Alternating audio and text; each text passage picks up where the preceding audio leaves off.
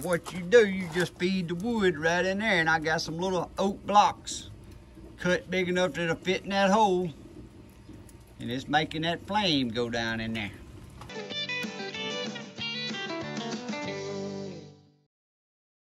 Well, good morning, guys. Welcome back to Po Boy's Little Homestead slash Papaw's Place. If this is your first time here, thanks for dropping in. Feel free to drop in anytime you feel, my friend. Guys, it's a good rainy day. A rain that we've been needing. But it's been raining off and on today, and I'm just out here under my little covered area, and I'm finna do some cooking.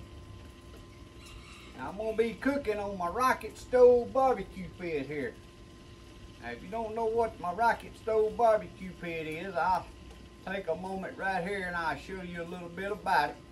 But the rocket stove barbecue pit is just an old barbecue pit. And I built me a rocket stove and it worked so good, I built me one and inserted it in the bottom of this barbecue pit. And what you do, you just feed the wood right in there. And I got some little oak blocks cut big enough that it'll fit in that hole. And it's making that flame go down in there. On the front, you got the door. You have to leave it open when you're cooking because that's how it gets air to burn your wood that you put in there. And it's got a little ashtray there that you remove. Now here's just a regular rocket stove that you can feed the wood the same way and set your pots on top of to cook.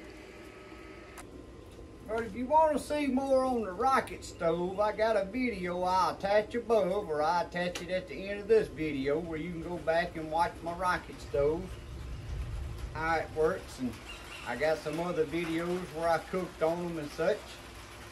But today, I hadn't cooked on it a while and I wanted to get it out and cook.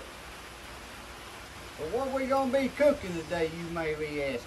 Well, I don't can't remember what I cooked last time, but I'm cooking me up some squirrel.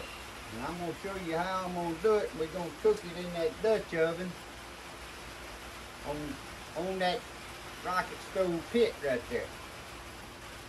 So let me get y'all on over here a little bit closer. So the first thing I got here, I got my little electric skillet set up out here. And I got my squirrel and I got them cut up and they floured. And today I'm using just simply Miss Lippy's Swamp Mix blend. That's all I got on it for seasoning. And we're gonna put these squirrel in this grease and brown them there just a minute. So we're gonna make us some gravy out of that browning that's left over from browning this squirrel. After we brown these squirrel, I make me some gravy. Then we're gonna put it in that Dutch oven with that gravy and we got some potatoes cut up and I got some peppers and onions cut up and some of them carrots that I just got out of my garden the other day that I have cut up. We're gonna put them in that little Dutch oven. And we're gonna try to keep it about 250 degrees and we're gonna let it cook a couple hours.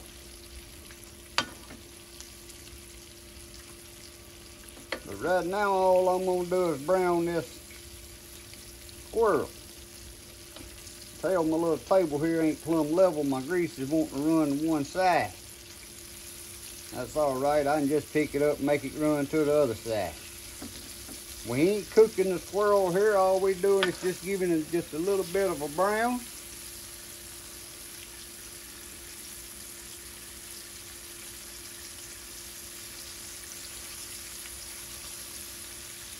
I'll let it brown on one side there just a little bit and flip it over. Like I said, it don't take just a minute to do what we're doing on this part. You ain't trying to cook the squirrel.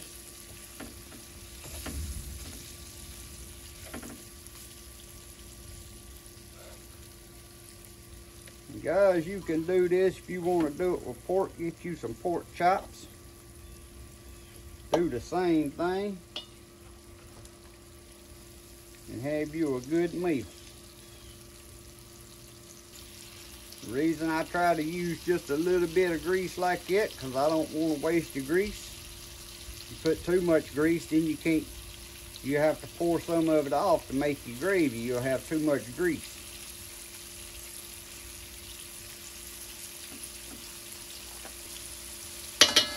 Them pieces right there I'm gonna call good, and you can brown them browner than that if you like it.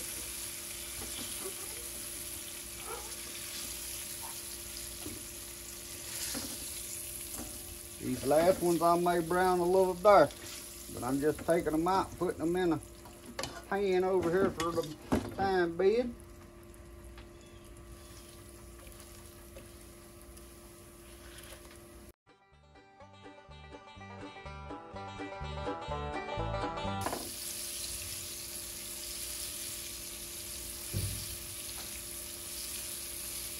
This is the easy way to do it right here.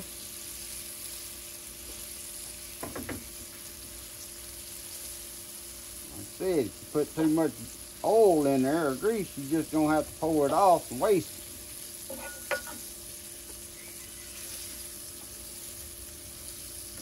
Say wasted, I guess you could pour it in something and save it for later, but I don't like doing that.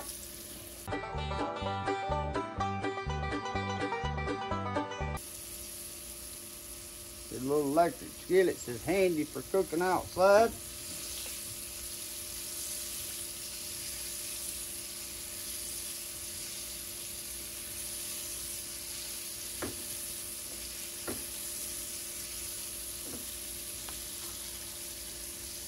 Say that's good enough for what I'm doing.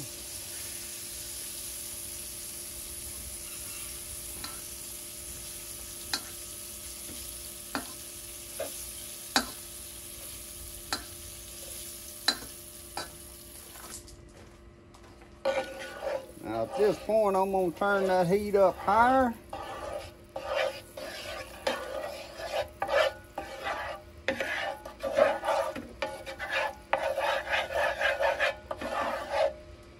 Now then take some of this leftover flour and pour in there. And we're gonna stir that around and we're gonna brown that flour. Now I'm gonna turn my heat back down a little bit.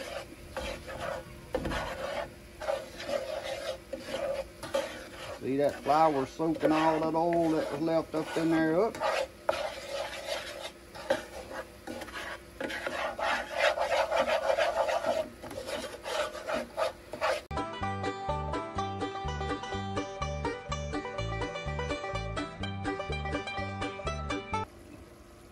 I'm gonna jack that fire all the way up. Again.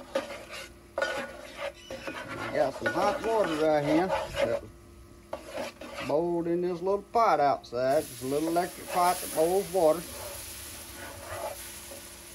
Watch that steam, that's hot. You wanna pour water and stir.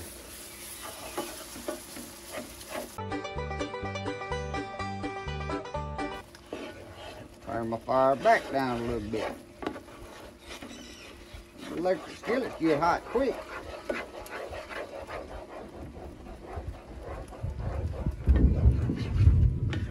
Y'all hear that thunder? Gonna get us a little more rain, it look like. You can make your gravy as thick or as thin as you like it. I don't like it very thick. Oh, I like it real thick, but it don't like me. now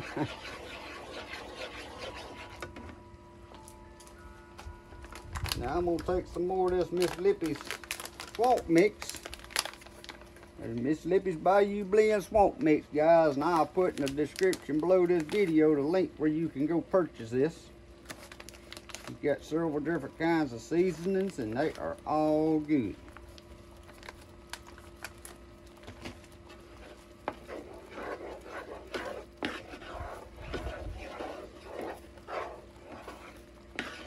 her seasonings, you ain't got to add nothing else. You don't need no salt and peppers and nothing else, really. She's about got everything in them seasonings you need.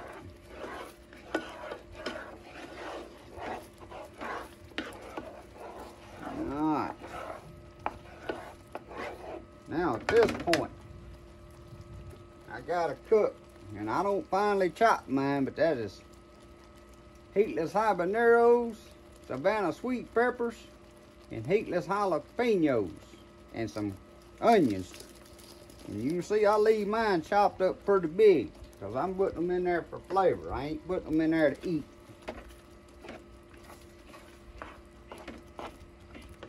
We're gonna put the top on that and we're gonna let that simmer a little bit.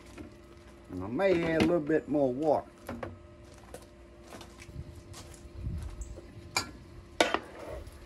Yeah, I'm gonna have to add a little more water. It's getting thicker than I wanted again. Boy, that's smelling good already.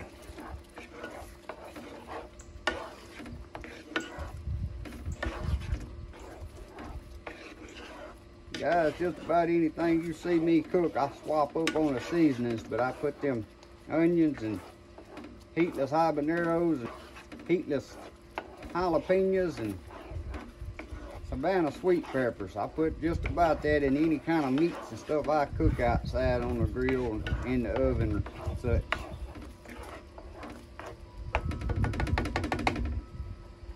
Just love the flavor it puts on stuff. All right, I'm gonna add some more water to this, thin mine on down. Like I said, you can make your gravy as thick or thin as you like.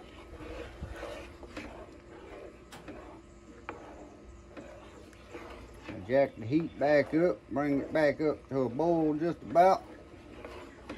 And we're gonna be ready to pour this into the Dutch oven.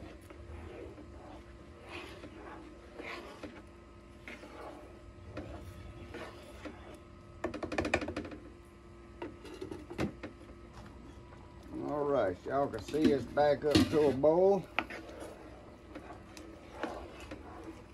Unplug this electric skillet here. Guys, I'm gonna move y'all over here to this Dutch oven.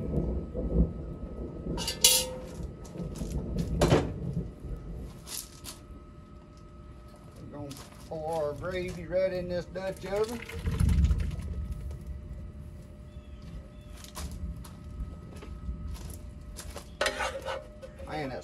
Good. I can just take some mashed potatoes and eat that right now.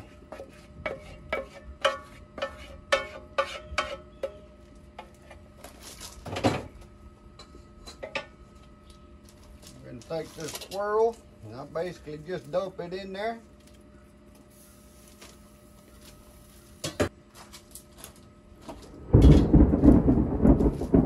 Y'all hear that thunder. Guys, y'all see I just got some Irish taters cut up. I like leaving mine in some bigger chunks and carrots.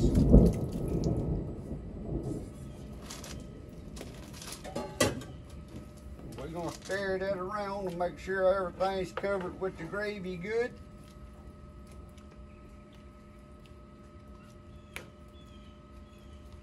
Can do this with any kind of your favorite seasonings. Like I said, your favorite meats.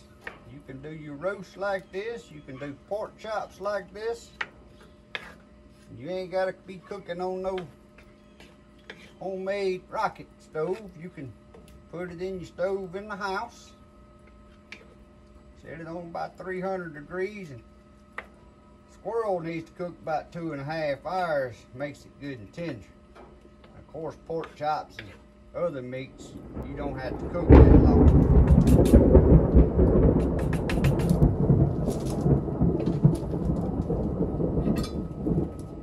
Under rolls. We're gonna put that lid on there. Shut the lid to this pit. And guys, I'm gonna fill the back up.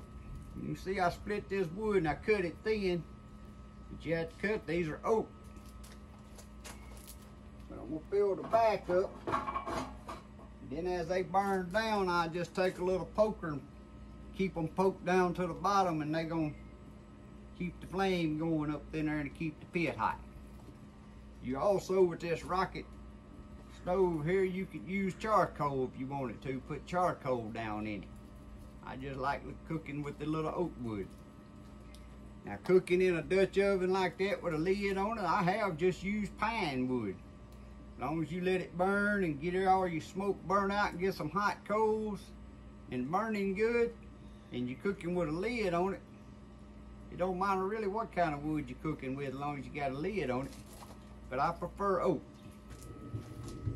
See guys, you see the temperature slowly coming back up. About 175 right now. Once it gets up there close to that 300 mark and I know that heater's full, I'm finna go in the house in a moment and take me a little nap. And I'll get back out here with y'all and we'll see what this looks like.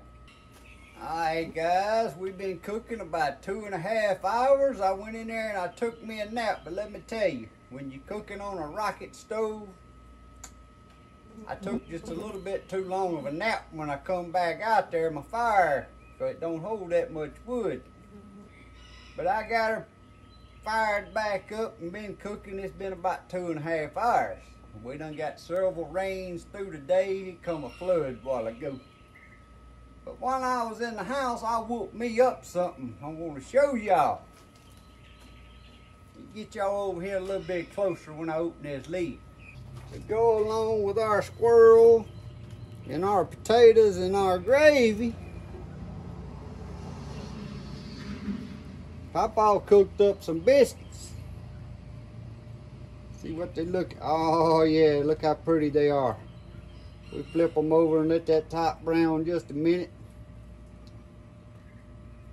So you can cook you some biscuits right here on top of your Dutch oven while you cooking your meal.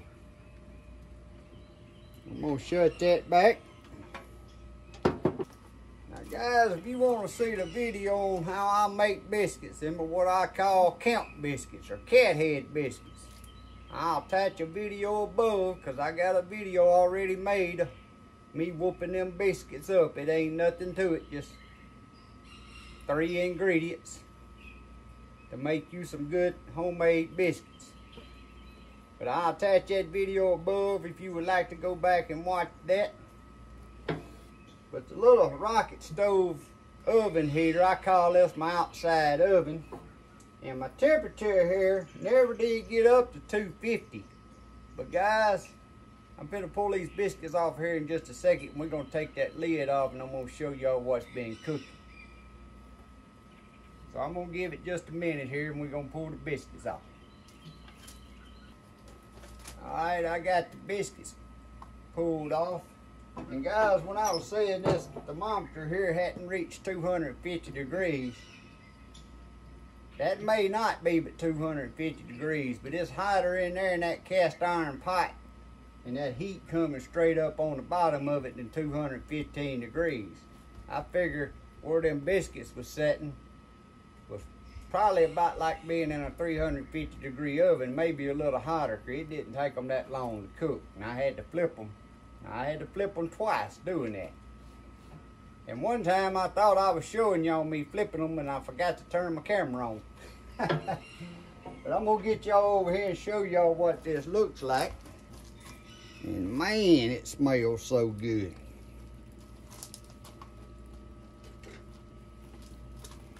Look at there, guys.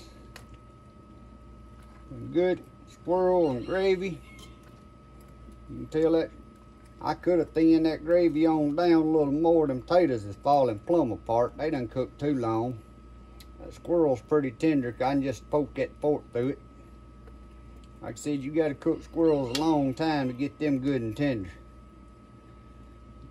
But guys, you can do this with any kind of meat, like I was saying. You can take you some pork chops, do the same thing. Any kind of meat, whatever kind of meat you want. But there she is, guys. I'm saying she's done.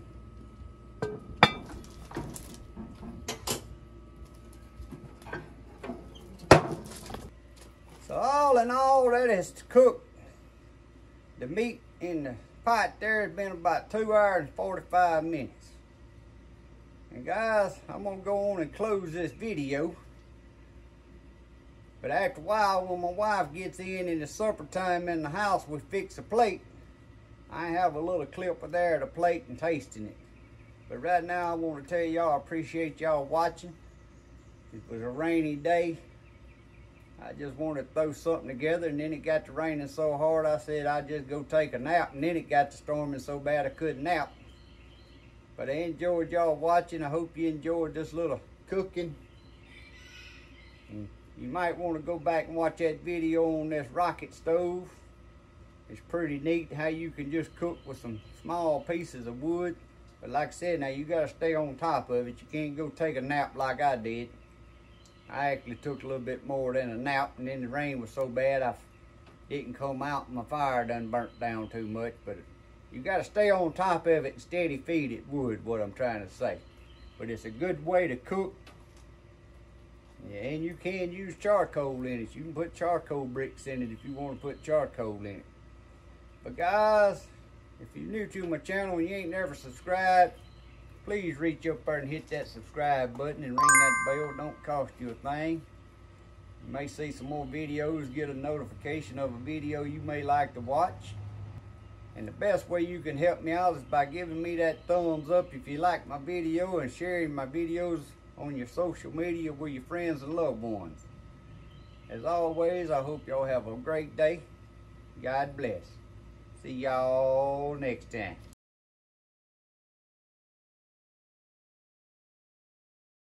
Well, guys, my wife is working a little too late and I'm hungry, so I ain't waiting on her.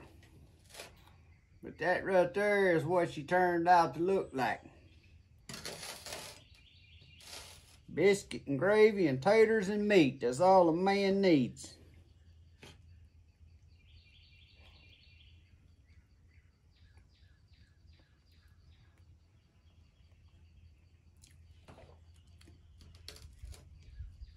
See how tender that meat?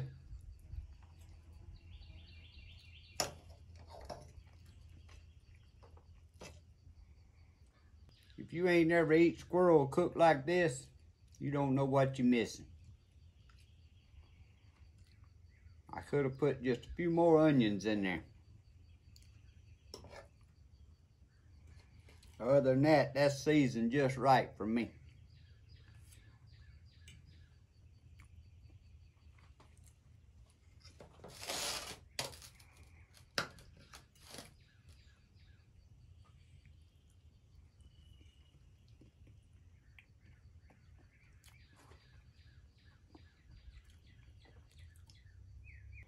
Guys, I hope each and every one of you is having a good supper tonight, just like I'm having right here.